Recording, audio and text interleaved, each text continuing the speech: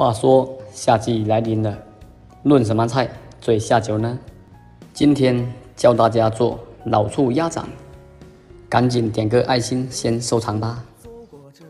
准备姜、蒜、小米椒、芹菜、柠檬、野山椒，把它们倒在干净无油的桶里面，加一碗生抽酱油，半碗陈醋。适当的白醋、盐、白糖、干花椒。锅中冷水下鸭掌，下白醋去油蒸白，煮开后捞出洗净。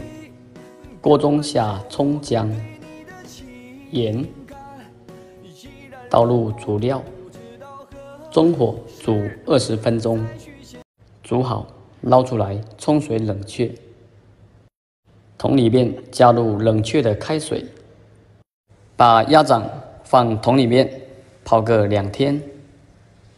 主页每道菜都很详细，就是一本活菜谱。不知道吃啥，随时来这边找灵感。给大家看看泡完之后的效果。